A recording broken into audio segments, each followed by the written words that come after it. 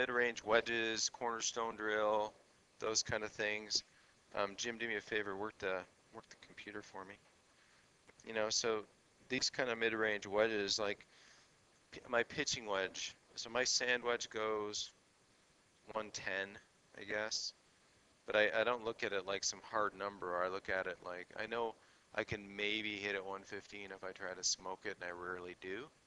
You know, I try to hit a driver hard from time to time. I try to hit certain things hard from time to time. I don't really try to hit my sand wedge really hard. But I do have the ability to hit a variety of distances within my comfortable max. So say pitching wedge, for example, if I hit a full one, it's 135. One, that's about as far as I can hit a pitching wedge. I feel comfortable at that, hitting it that far. Okay, some tour players hit at 160. crazy fast whippersnappers these days. Okay. But these motions that we're going to talk about, and you guys are going to go practice out there, um, go ahead and capture this one for me, Pro. Go um, arm that thing. You know, so here's kind of a mid-range wedge, and you know, narrowish stance. You'll notice the club is is it on the ground or off the ground? It's off the ground, guys. And I might tap.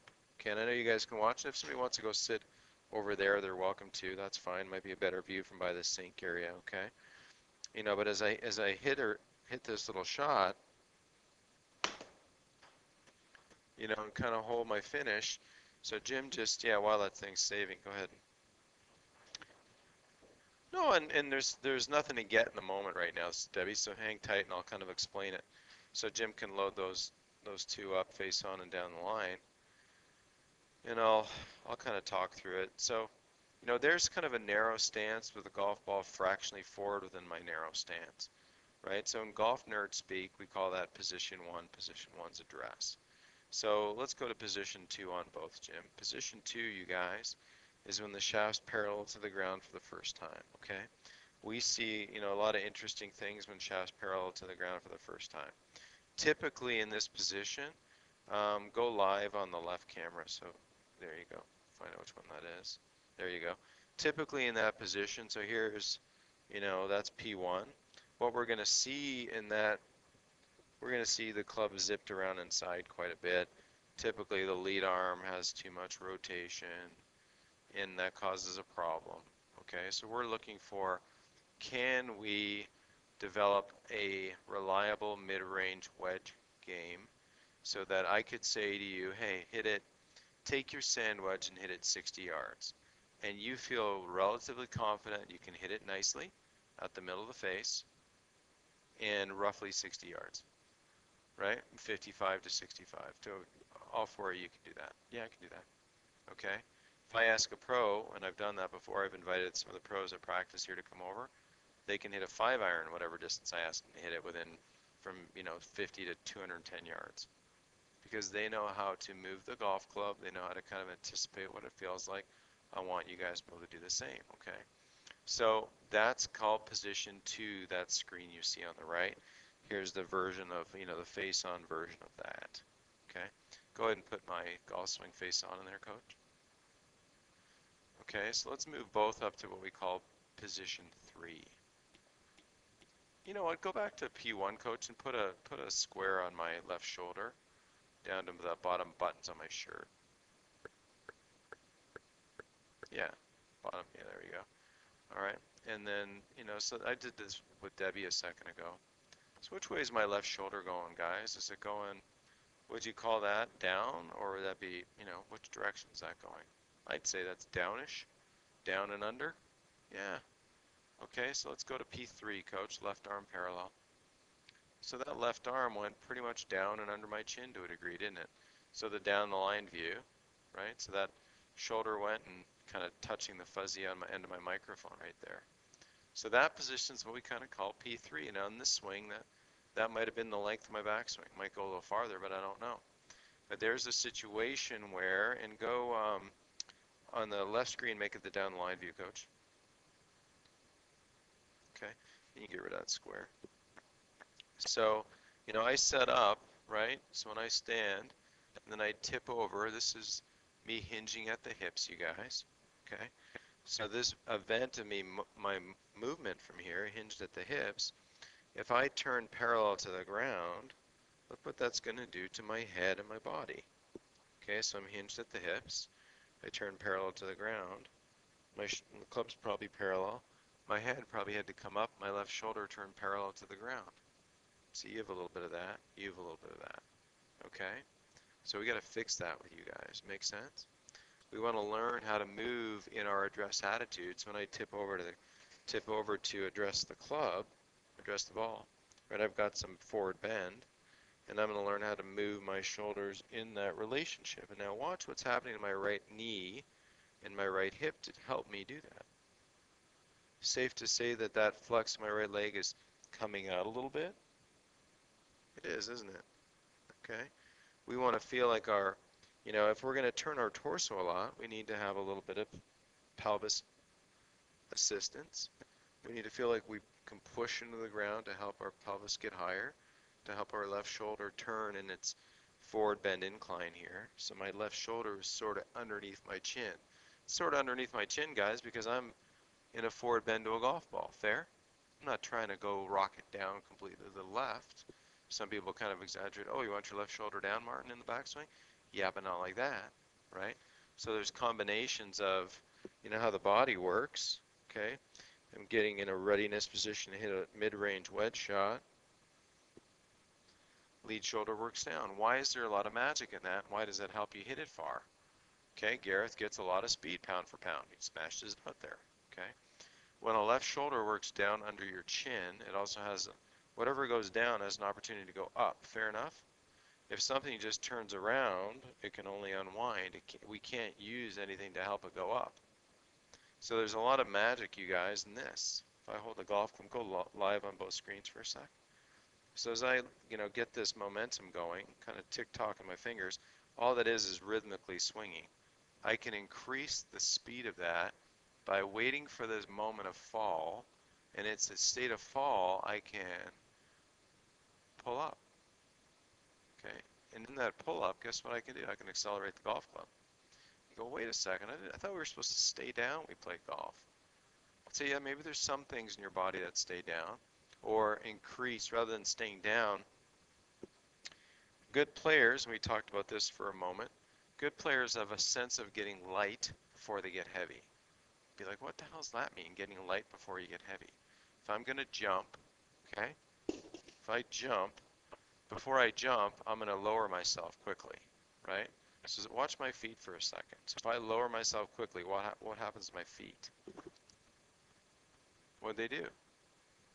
They came off the ground a fraction, didn't they? Now I assisted that a little bit, okay? But if I lower quickly, you know, there would always be a sound right there because it's hard to lower without that response of, you know, unweighting so much that you hear something. So I'm going that way, but the Earth doesn't, the Earth thinks I disappeared for a millisecond. Do you understand that? You get it? You get it? You get it. Okay, good. Jim's like, yeah, I get it. Of course you get it. You did 450 yards, knucklehead. Okay, I'm glad you get it, Jim. Jim gets it, everybody gets it. All right, so the point, you know, this event, here's me unweighting. And here's me getting lighter. You know, if I take on more flex here, it's, you know, that's one side taking on more flex. I can do it with both feet as I'm going to jump up in a test and see how high I can knock those things in those combines those athletes have to do, right? Okay, so you can have that sense of what is it like to let yourself get lighter. And now guess what? I'm getting lighter and I catch myself. All of a sudden, boom, I'm heavier. So that that's the dynamics of how somebody can really start to create some speed. And what we want to do is make you a very efficient pivoters. Okay, create a really efficient pivot to where you guys get set up. You're a little narrow and boxy, you know, so we're going to flare you out just a couple degrees each with the toes. Okay, you being squared up works pretty well for you. I don't think we really have to mess with your feet. Okay, you look pretty good. You look pretty good. Um, a little wider for you. Okay, but in the mid-range wedges, you don't need to be very wide because we're only hitting these the selected amount, the selected distance, and we're going to go out there and say, okay, everybody, 60 yards. So if you say, I know you don't know what to do yet, right? Okay, no, that's fine. And so you're going to start to catalog awareness and feeling. And so pretty soon you go, oh yeah, I got 60. Let me tuck that in there, right in that file folder. Oh, oh, I need 60. Oh, there's 60. 60 feels like this. And I guarantee you, if a ball got in the way of that, okay. Did I say Siri? Shut up, Siri. I said 60. Okay. But if, if you said to me, Martin, give me 60 yards, I'd be like, okay, I know what 60, I know what 60 feels like.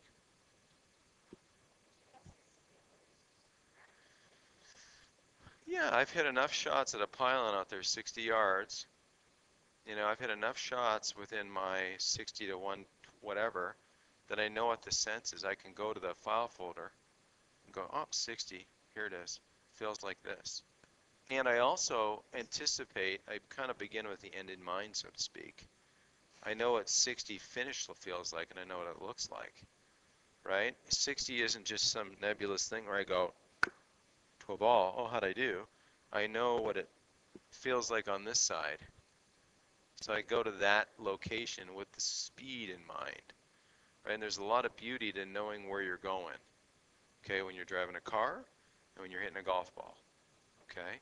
So a lot of these, we're going to a similar spot. We're just going there at a different rate, right? So when we kind of, I'm going to have you guys in here for a bit more thorough swing look here, a little deeper dive in your technique, okay? But as you do that, you know, Jim's going to have you kind of do sets of five outside with different distances in mind. And we'll turn on TrackMan, okay? And we'll probably have to put the, the iPad in the shade because it'll, it'll get too hot and turn off. But I want to see if you guys can start to relate your body motion to yardage. Not just lucky, but kind of calling it. Saying, you know, this one's going to go 50. This is what 50 feels like. How'd you do? Oh, 52. Cool. This one's going to go 65. How'd you do? 64. Ooh. Because that's how a good player would be. Question, comment, concern? Good. All right, so let's go back to some of those technique things. I'll try to keep these videos certainly under 20 minutes because I don't want you to get too bored. Yeah, put the swings back up. We'll just kind of go through the positional stuff. So P3 on both sides, guys. My center, the, in other words, the, the Nike logo hasn't gone to the right very much, hasn't gone to the left. See what I mean? My head stayed fairly still. I'm not trying to keep my head still. I'm moving my body appropriately. Guess what happens? If I move my body appropriately, my head stays still. Okay, your Nike logo will stay very still. Okay? So that's P3. Now let's go maybe, maybe it creeps up to P, a little bit more P3 in a bit, or is that it? That's it. So yeah, so a full swing, if you go click on um, this, the first or second uh, videos right there, coach, put that face on beside my pitch shot face on. Okay, and then go to, go to P3. Good, so there's my P3 for a pitch shot, P3 for a, I don't know what I hit, an 8 iron. Okay, what do you notice? A little wider stance, but generally looks pretty similar, doesn't it? Other than the stance width. Now I'm I have intent to hit that shot a little farther, so go ahead and roll, see where this swing kind of stops. Okay, so that's P4. That's my P4. Top of, top, yeah, that's when I'm changing direction right there. First moment when my swing stops, goes to zero, and I'm about to accelerate it up to 80 something to hit an 8 iron. Okay? Right? So you see the difference between P3 and P4. When you're hitting these wet shots, you probably go to P3 most of the time. It'll look kind of like this, guys. Left arm parallel, right arm parallel. And we can do that at different rates. Do it faster with the pivot, slower with the pivot, control our distance, okay? Now let uh, the left screen come down to P5. So there's P5, and then go to P5 on the right screen, coach. Good. So what do you notice the difference on a full 8 iron versus a, you know, 60 yard pitch? Maybe that maybe that club looks a little bit more loaded on the left. Why would that angle on my wrist be different, guys? What do you think, Christine? Take a shot. You can be wrong. Being wrong's fine. Yes. Good answer. You know, I'll go to the judges. Judges give me a yes, and you pass. You, you go to the next round. Okay, because why? There's a weight at the end of a stick. There's structure up here. When I move that, when I'm moving a little faster, the weight resists changing, doesn't it? Put some stress, question, thought, or just a ooh, just an ooh, okay, right? So you see it looks a little dynamically different, right? Let's go to P6. P6 is when the shaft is parallel. That's left arm parallel for the last time. Here's shaft parallel for the last time on both of these, okay? Right? So, you know, you see a little bit more dynamic look on the left and the right. Again, it speeds the Speed's the issue, maybe a little wider stance, okay? Let's go to P7 impact on both of these. P7 on the pitch, P7 on the 8 iron, okay? So, you know, the shaft's leaning, um, and you can take a look at my head, interesting, on the, on the pitch, on the right side, my head's releasing a little bit more. Certainly not trying to keep my head down, I can assure you, I'll never tell you to keep your head down on this golf school. I'll show you what helps you kind of keep your head organized, not moving around a bunch, how the body behaves, not your head. Your head doesn't do anything but moves wherever your body goes, okay? And so now as we kind of take the take the pitch shot through to P8, body is, you know, turning, arms are kind of with P8, perfect. Let's go 8 iron to P8. Head's releasing a little bit. One's kind of holding on for dear life on the left side because there's a lot of momentum trying to pull me down the bowling alley. If I glued my fingers in the bowling ball and just go, whoa, right, it would pull me down the bowling alley. Now on the left screen, you see a guy that's kind of, eh, go ahead and go live on, on the right screen, coach, on the right screen. That's okay. Pop that one up there. There, yeah, so that screen right there, guys, I am fighting all that momentum pulling me out right there right? I've got to offset all that momentum just for a second before I can relax, right? Because this thing, momentum, inertia, it builds up. Have you seen the Olympics where the people grab that hammer thing? I want to do that once. In the circle, and they pull the chain, it's got a weight on the end. I we should do that for fun here. We should go order, get get an Amazon, order a hammer, and then we can go throw that thing, right? So that person that's doing that, as that athlete starts to circle, don't they have to lean back farther and farther and farther because that thing's building momentum? Well, in a good golf swing, guess what? We're doing the same thing. Why would it be imperative that my pelvis push forward? Because this foundation underneath me that makes sense for a two pound club at address doesn't make sense for a club that's 80 pounds over here. Now that makes sense for that 80 pound angle over here. You've seen the difference here. You get it? You get it? You get it. Okay, no, but I, but at least if you understand the fact that golf club weighs two pounds, but when you swing it, its weight builds up, just like the hammer toss, that centrifugal pull, whatever you want to call it. I don't if I'm saying it right, but the weight gets heavier, and therefore we start to change our look to better manage the weight of that thing before it doesn't matter, and we can kind of go into a finish just kind of stylishly. Because that's all it is, right? It is. It's just finishing in style, slowing down in style. That's what it finishes. You don't have to bash the club off your back. Ball's had its message. How do you brake nicely? How do you put on the brakes? You know, like, uh, you know, Tommy Fleetwood always looks great. Rory McIlroy always puts on the brakes really well. You know, uh, Greg Norman was one of these. Didn't really put the brakes on. You know, he's whacked himself in the back. It's okay. I like people that put the brakes on nicely, though. Okay. So you see how some of these nuances happen? So let's go back to two live video um, live screens. And the things that we're going to look for when you guys are, are go out there, we're going to get you a T-square, you know, use the ball location stick, you know, that, that guy has a little hole here, right? And then we've got tons of grass last golf school this season, so you take as many divots as you want, right? Go crazy, divots, divots everywhere, okay? Um, but you know what we're looking for here, guys, is can we can we create a radius? So here's comfortably long lead arm, a little bit softer trail arm. That would be for you because you have kind of a dominant right arm. Structured with the lead arm, softer with the trail arm.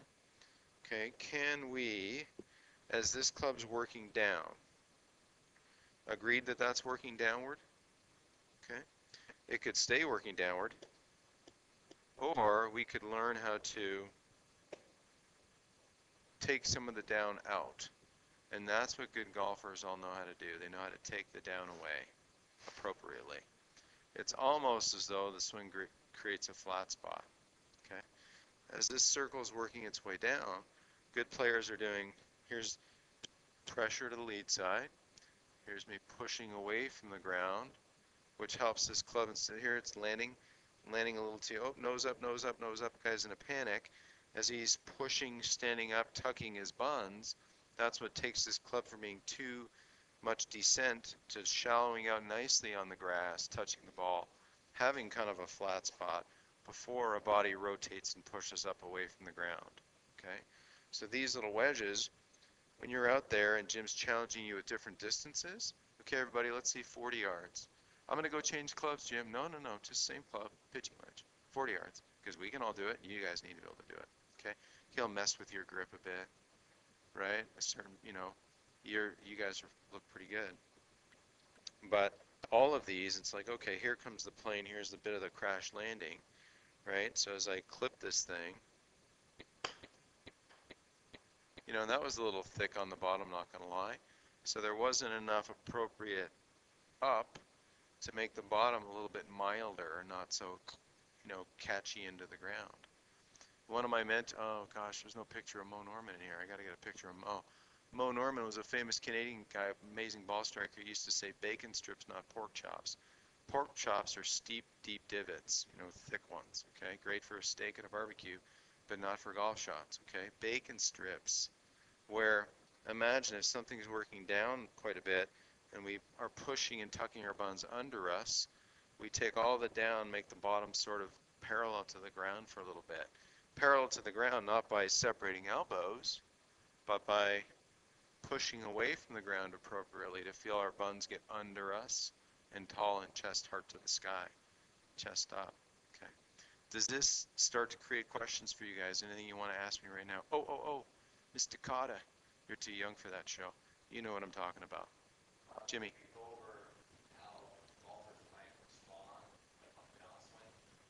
Here, jump in. we see a lot of guys is you know we're talking about we're talking about this nice shallowing and being able to shallow strike and be able to use all the extension but if we have um no but this if we have let's say we have a club coming down very steep like this right we call this the umbrella the lightning rod it's going to be a lot as golfers, you get good at responding to try to shallow out the best you can just to hit a functional shot, right? So being, if I'm in a spot that's like this, or let's say the face is open too, like we have to start to move differently to shallow out this plane. Does that make sense? Because if it's coming down like this, you know, I've got to respond with something more up and like that, so this thing doesn't doesn't ram into the ground because it's it's coming in too steep. Does that make sense? Yeah, or if we come in and let's say the face is, is wide open like this, it wouldn't make sense to, to shallow and do that because you'd, you'd hit it way right. So that's why we see a lot of, you know, pelvises that don't want to relocate because the, the face angle isn't right. Um, so if you guys look at the screen on the right, you see how my pelvis is right on top of this white stick, okay? So being able to relocate the unweighting that Martin was talking about. So see how this finished. So, so look where my hips are relative to that white stick now. So see, I've, I've relocated. You're going to hear that a lot this week, but relocating is being able to shift the hips, you know, closer to the target. And normally, whenever we say forward, we're talking that way. We're not talking forward on the toes. Okay, so if we say you got to get more forward or hips got to be more forward, we're talking about towards the target. Okay, so we're going to change some grips where where a shaft is coming from. You know, you kind of lose it at the top and it starts wiggling around and then it gets steep and then you literally hit every shot off the toe. It's kind of funny because you got every mark from the Sharpie marks you put on your ball. Every club has a mark on the toe. We want to be able to hit the what's that? No, no, it's it's not funny, haha. It's like oh, that's funny. We, yeah. So so you can see any every time if I have to go down like this every time to deliver it, you can see there's going to be you know the toe is probably hitting the ground more than the heel through the strike, probably every time. Um, so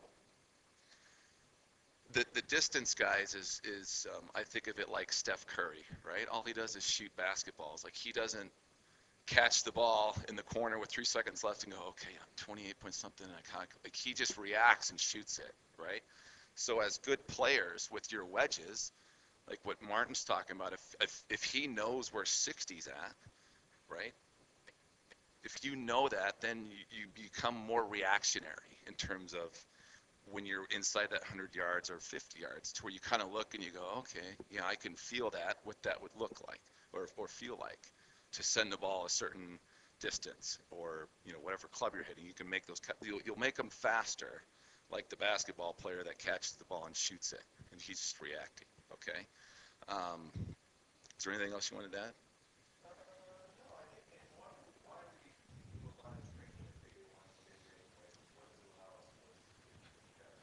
So, you know, we train a lot of these mid-range shots on the first day to one, you know, look at the look at the grip attachment, right? And being able to this this cornerstone shot, guys, is a very simple movement, but every, you know, every position, kind of what Martin showed on the screen, it can be correlated and related back to a to a full swing.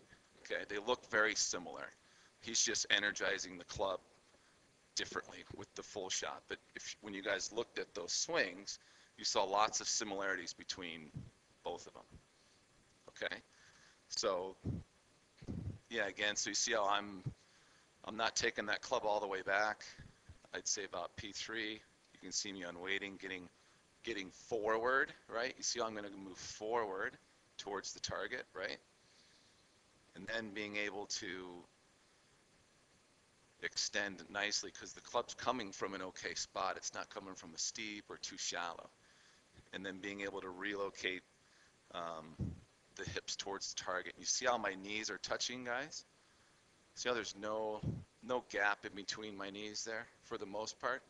Um, you know, I like to say give the, the the right knee gives the left knee a little peck on the cheek, right? It's turning, right? I'm not slamming it shut like this, but I'm but I'm turning and relocating. So you guys see on the left screen that you can't see any gap in between the thighs here. So that tells me I'm fully uh, rotated and balanced. And, and look at my feet. Where's the weight pressure in my feet here? You guys see how my toe is kind of curled up? So there's weight on the heel and a little bit of pressure on the toe here, just for balance. Okay, so most good players, they're always going to have this sort of look, like this. They're always going to be like this. You see a lot of players, Jordan Spieth, all those guys hit drivers. This this heel is turning out like that, right? They're not they're not turning on a toe. Okay. So, but what we see a lot of, and this goes back to the delivery, if I have something coming in steep or open and I have to stand up, where's that going to put the weight of my toes or my body? Kind of on the toes. Because if I stood up like this and put my weight on my heels, one, I'd probably miss the ball, but then I'd fall back this way. So I have to kind of stay on the toes. Okay, so being able to get a delivery, um, something you can respond to better is, is basically what I'm trying to say is um, instead of responding to a steep or an open or too shallow, we've seen everything. So yeah.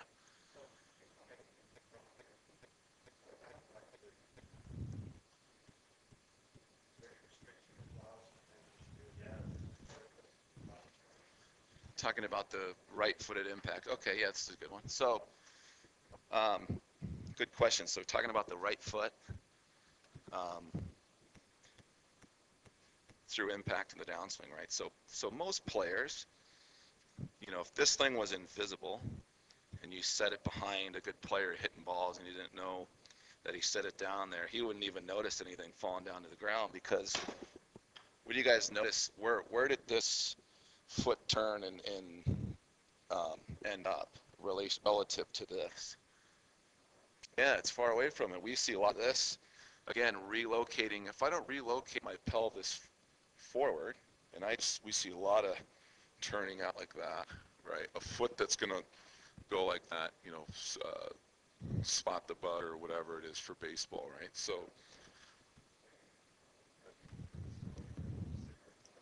Yeah. So to answer your question, the right foot throughout the downswing, there's a banking motion here. You guys see how I can bank this foot, right? So that banking motion kind of lets me know that I'm doing what with my hips? Relocating, right?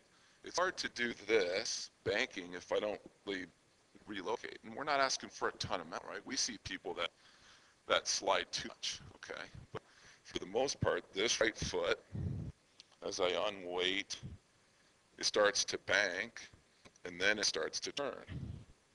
Okay? It's kind of a blended motion, but if you guys, um, you know, sometimes we get people with, uh, they'll have the rubber, kind of like you, I've got the Athlon too. Uh, the rubber bottom, it's, the grass is wet in the morning, and you can hear a little squeak in the grass every time, because they're turning their foot this way. See how loud that is? Doing this compared to, yeah, see how quiet that is? Sometimes those squeaky spikeless shoes are actually a good little training aid, right? So being able to, to bank and turn to help me relocate compared to doing something like that. Or we see people that, I say, I, I call it having your feet in cement, like they, they're, they don't have any sort of relocating at all, right? Then, you know, they just kind of, they literally just kind of slap at it. But unfortunately, that's how golfers, you know, a newbie going to the range, maybe like, let's say you're just out there, you bought some clubs, you know, someone, you know, oh, just keep your head right.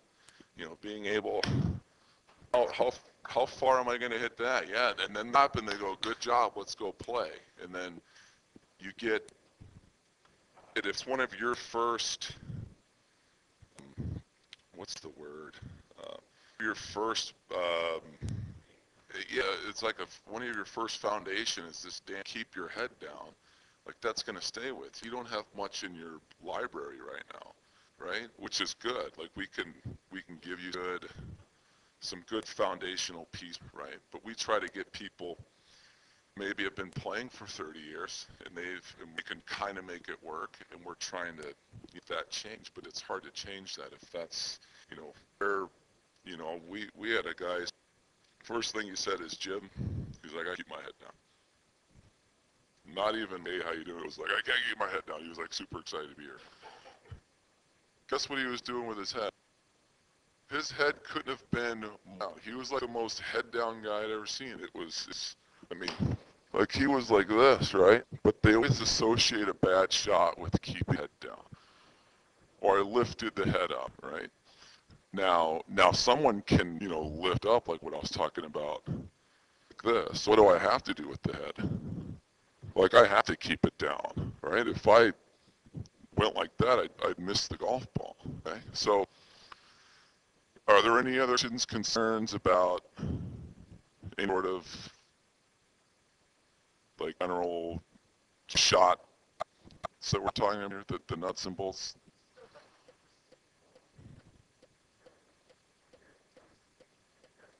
Oh, the the early yeah. What you know? So you know that that can be caused by a variety of things. Like what else?